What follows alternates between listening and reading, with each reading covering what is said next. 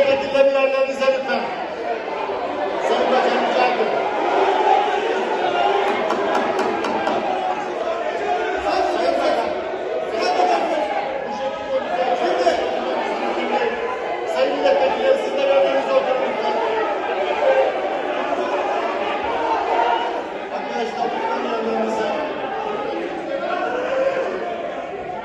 Sayın Milletvekili